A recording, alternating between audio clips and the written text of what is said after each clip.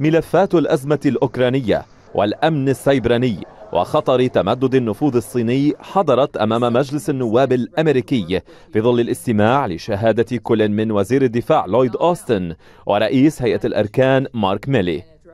أوستن حذر من أن الأسابيع القليلة المقبلة ستكون حاسمة بخصوص الحرب في أوكرانيا مستبعدا في الوقت نفسه استخدام بوتين للسلاح النووي.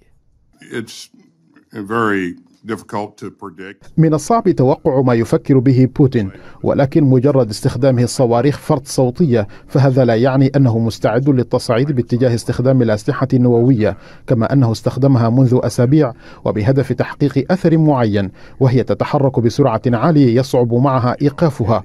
بوتين لديه خيارات كشن هجوم سبراني أو كيميائي وهي أمور نتابعها بدقة ولكن لا أعتقد أن ذلك سيدفعه لاحقا لاستخدام السلاح النووي.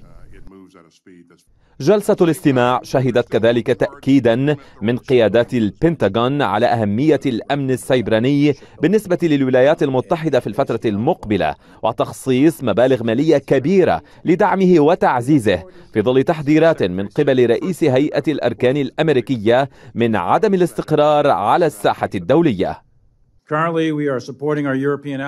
ندعم حلفائنا الأوروبيين ونحمي الجبهة الشرقية لحلف شمال الأطلسي في وجه حرب غير مبررة من قبل روسيا. نواجه قوتين عظميين هما الصين وروسيا وكل منهما لديه قدرات عسكرية مميزة. ندخل عالما أقل استقرارا واحتمالية المواجهة الدولية بين القوى الكبرى تزداد ولا تقل.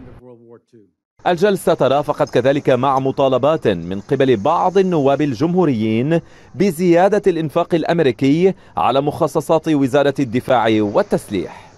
مخاطر مستقبلية وتسريع في وتيرة التسلح وزيادة في مخصصات الإنفاق الدفاعي والعسكري للولايات المتحدة. كلها تبدو جلية في كلمات أوستن وميلي على وقع العمليات العسكرية الروسية في أوكرانيا. مجدي يازجي سكاي نيوز عربية Washington.